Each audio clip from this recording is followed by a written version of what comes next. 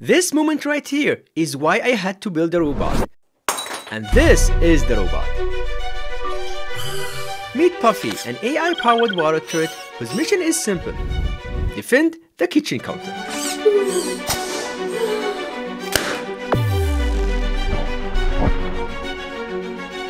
That's for balloons only. The cat gets the deluxe spa mode. Let's see who wins. This is Cookie.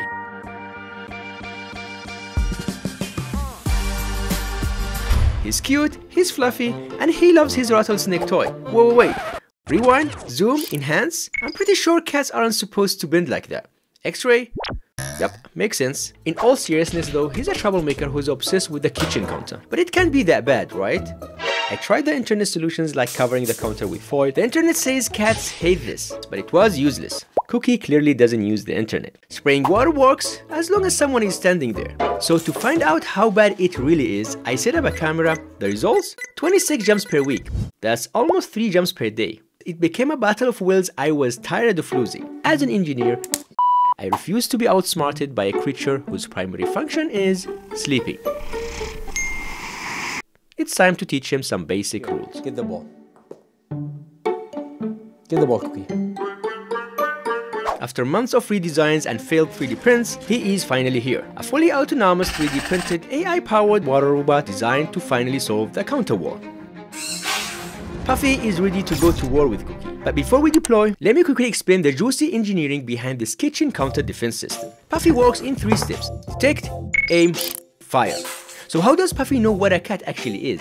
It uses a camera connected to a Raspberry Pi 4. A Pi is a tiny computer you can program to do magic things like running a lightweight AI object detection model. The model detects objects, draws bounding boxes, and assigns confidence scores. Like this one here, it thinks it's a human, but it gives it a very low confidence score. That gives Puffy the brain of a two-year-old child. To keep him focused, I disabled all the irrelevant objects. He did. Oh, okay. Okay, buddy, go back to sleep. Once a cat is detected, I calculated the center of the bounding box, add a crosshair to the image, and move the camera so it's always on target. Now the AI part is cool, but this is what I'm really proud of. One single servo motor does three jobs at the same time. It opens and closes the hatch, it aims the water gun vertically, and it physically pulls the water gun assembly down. Because the whole system is so compact, the Raspberry Pi only fits if everything retracts perfectly. Cookie can be anywhere along this counter, which requires at least 70 degrees of rotation. That's handled by a servo motor connected to the base using 1-to-1 -one gears.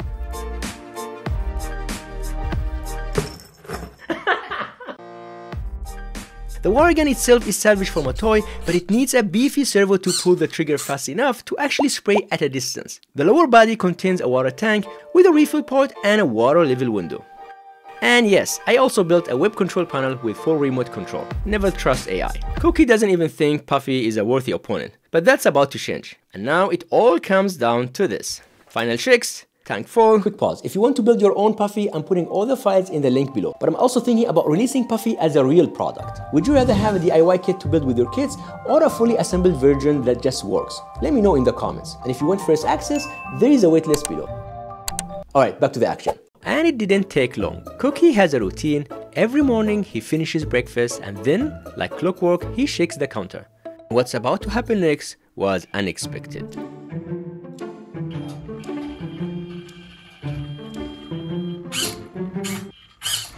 I knew it immediately. During testing, I ran the tank dry and it sucked in air. Time for reverse CPR. And so this never happens again, I added a simple water sensor. Okay, back in action. I had to use a little incentive to get Cookie to jump, in my favorite cup. This time Puffy has to perform under live audience, which puts more pressure on him.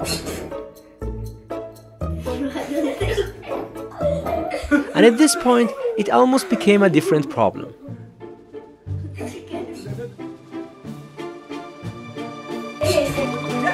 We are thrilled because technically it worked, but there were three problems. One, water pressure wasn't strong enough. Two, Puffy was a little too chill. And three, Cookie's fur is thick. So I switched Puffy from chill mode to Dilophosaurus mode. Faster reaction and more pressure.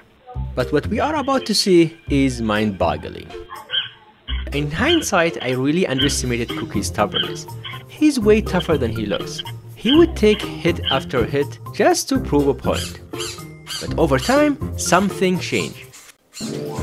Fewer and fewer shots got him down. Eventually, just the sound was enough. At one point, Cookie tried a new strategy. I think he thought Puffy wouldn't notice.